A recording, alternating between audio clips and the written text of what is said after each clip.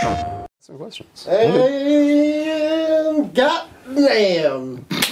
goddamn. Hey everyone, welcome to this week's episode of Working Class Music. I'm one of your hosts, Jason. Uh, and I'm Xander. Hey guys. He's extra tall, Xander. I'm Big Zen. I'm Big Zen. Big C. Gonna make the poor black man sit in a small seat. yeah, I'm, I'm old. I wanted the backrest. Speaking of back, I'm back from NAMM. Oh yeah, dude. How was that? I've got some thoughts, and that's why we're doing this video. So uh, I decided to go out to NAMM, and when I was out there, since this is for Sweetwater's Content Creator Month, I decided I'd get one of the DJIs that they have and just film some uh, B-roll for this video. Okay, So all the B-roll that you see is done on that. On the new DJI. That's Yeah. cool. Okay. Thank you, Sweetwater. Yeah, like other than that, NAMM was uh NAMM was amazing. NAMM was really good. I know there's a lot we're gonna talk about on it, so So I remember we as a channel went out there the first year we yeah, were doing it. we Yeah, we went all in, and it was like right after COVID. Like everyone had just got their first shots or whatever, and everyone there was talking about how dead it was. And a lot of people I've been talking to, you know, who are also in the industry or whatever, skipped out this year because they just assumed it was going to be boring again this year. Was it like that? Was it a boring time, or like? I don't know. Out of the three I've been to since this channel started, this is by far the best one, and coincidentally, it's the biggest one. Okay. Um, it was definitely a lot bigger than the one we went to. There were definitely a lot of vendors there, a buttload of vendors. More showed up than usual, or I would say time? more showed up than the last time. That's cool. That's so good. yeah, people are coming back. Yes, yes. So there were there were a ton of people there, like friends, vendors. You know, saw a whole lot. The Earth is healing. Yes, hopefully. Oh, that's good. That's cool. Awesome. So, okay, so what did you see there? What was what was like your favorite guitar that you saw there? Like cool offsets that you like, stuff like that. Cool offsets. Yeah. All right, let's talk about the cool offsets. So uh, let me tell you the story about the Larry Carlton, the new Sire Larry Carlton J5. I've been seeing those. So Yes. the Sire stuff is interesting to me. They're really gunning for the Squier market. Yeah. They're really good features for the money. They're Yeah, awesome. th- they are, but here's the the funny thing. So when I get to the Sire booth, I'm walking around and I'm just like, "Hey, can anyone like you know help me with this guitar?" Yeah. And then this guy turns around and he's like, "I can help you. It's my guitar." And it's freaking Larry Carlton. It's the man himself. Yeah. That's- So that that was pretty cool. I got to play that. I remember reading about him in guitar magazines as like a kid. He's Yeah. a little legend, dude. He, Like, he is a legend, and like for his guitar, six hundred dollar Jazzmaster.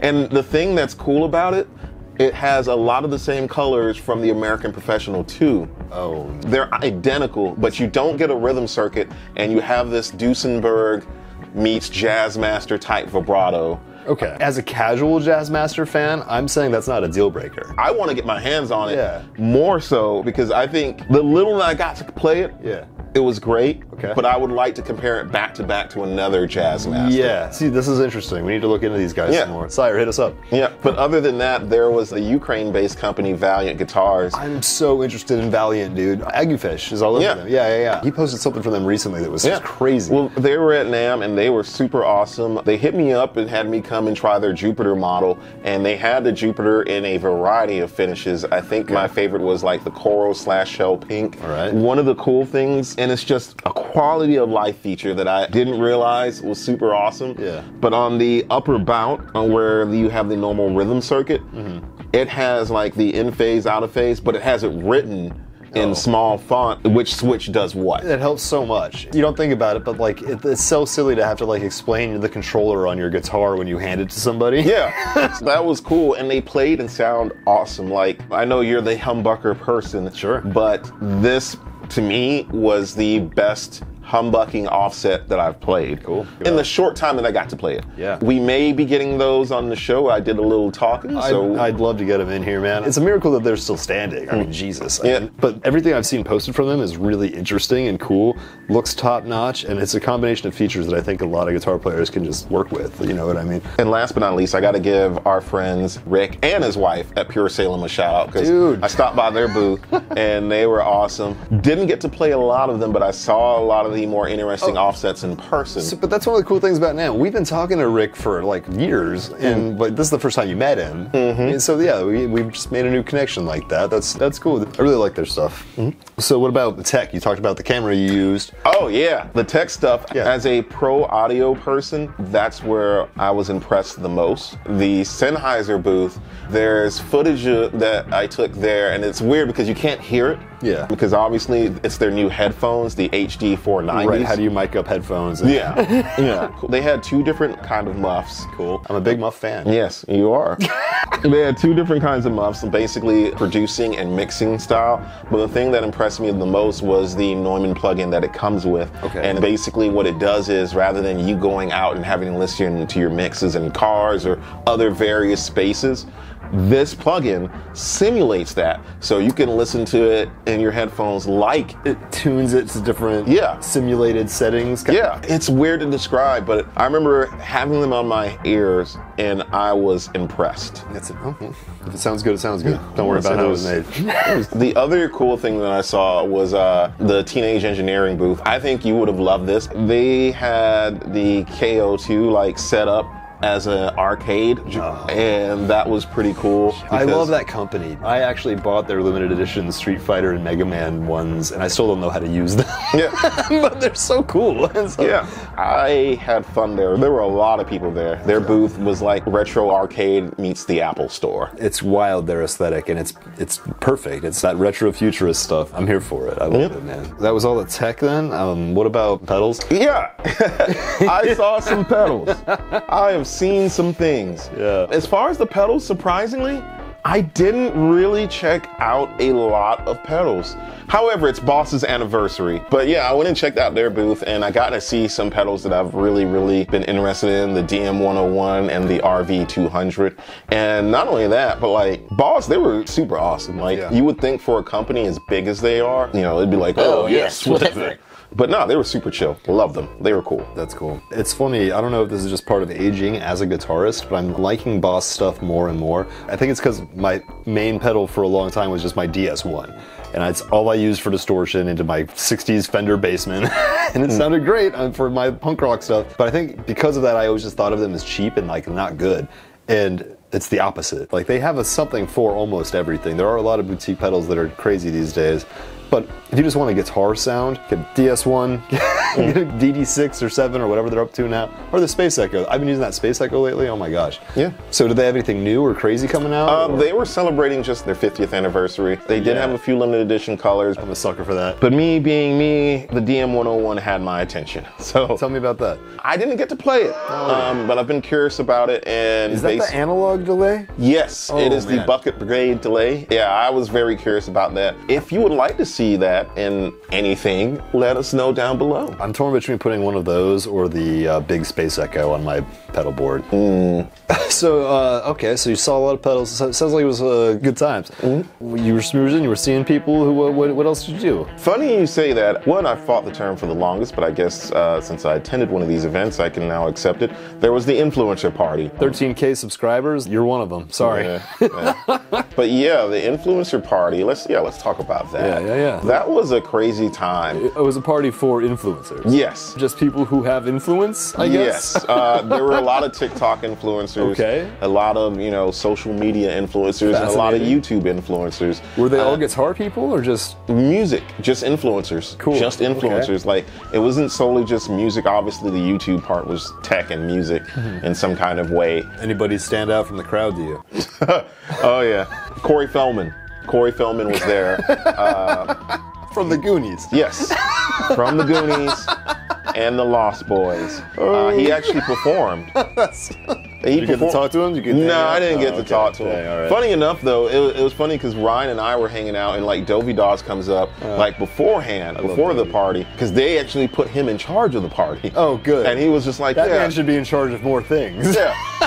and he was just like, yeah, we got Corey Feldman coming. Oh and I'm oh, just like, my God. I'm like, all right, cool. And then, you know, he showed up. But yeah, no, it was a, it was a good time. A lot of drinking, Yeah. a shit ton of drinking. Yeah. Another thing was the party that I should mention. Another the party. after party, yeah, that Earthquaker and Reverb hosted. I actually ended up talking to Jamie Stillman for a good little bit, and that meant the world to me. Sick. All right, so fun parties, good toys to play with. What was the highlight of the show? What was the best part of overall? My favorite part overall, funny enough, wasn't at NAMM. It was at the Effector Market, which happened that Saturday. It was a separate event that a bunch of different vendors had, like Chase Bliss, Old Blood Noise, Meris, Okay. And they had their setup so that you can try their pedals. It was like Indie NAMM. Yeah, pretty Oh my much. gosh. Yeah, and they had Black Bob in there. Like to me, that was the coolest event possible because it was a much smaller event, Yeah. and I'm very anxiety ridden. You don't have to tell me I'm a punk for a reason, dude. I want a small little club show. I don't want a big stadium. This is not my place. I want a little bar,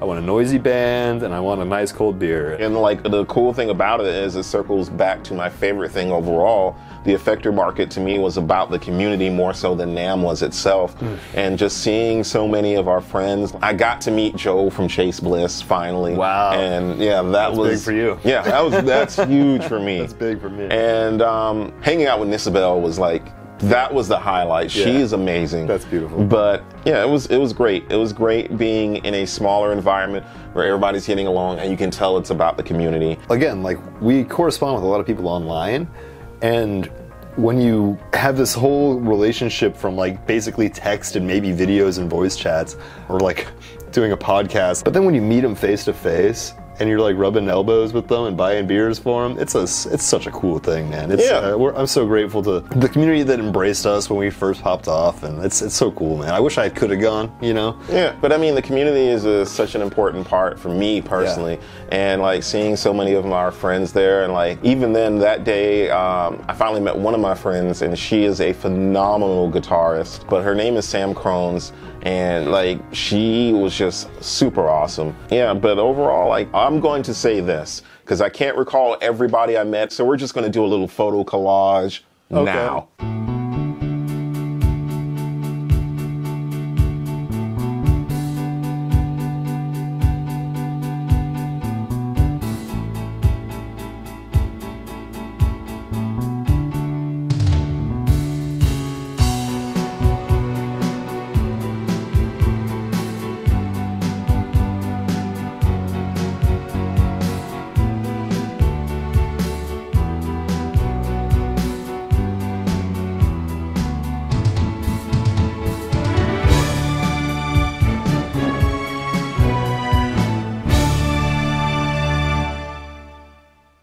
From the photo collage. Yeah, sounds like you had a great time, man. Any other highlights you need to point out? Final thoughts on this year's NAMM. I thought it was awesome. It was a fun time, like seeing all of our friends and just being able to interact with them. Everybody was busy, but you know, it was nice because I hadn't seen like Johnny from Oakland Guitars in a while, and he's oh, one of my best friends. It meant the world to me, and you know, to kind of feel embraced by our community. Yeah. And you know, meeting so many people again, like Andy Ferris, like finally got to meet him and did not realize he was that fucking tall. How But tall? He's taller than you. That's scary. Yeah, so I'm standing next to him and Ryan Burke, and I'm just like, oh. Actually, what was really cool too was hanging out with Mark Johnston, Signal Path, and Ambient Endeavors. Like that was really cool, especially since I'm into the whole ambient like stuff yeah. that they do. So it was cool chatting with them. It was it was a fun NAMM. This NAMM gets an A. Oh my gosh. Well, all right. Shoot. Thanks for sharing your story, man. Sounds like that was the NAMM to go to. I'm sorry that I missed out on it. You know, I would like to send the whole team there, and if you would like to see us do that sort of thing, subscribe to the Patreon. We got the new tier coming in at $1. So if everybody who subscribes gives us a dollar, we can quit our day jobs and just do this. So, you know, food for thought. If you can't afford that, no big deal. Like, subscribe, keep watching. That helps us out a lot too.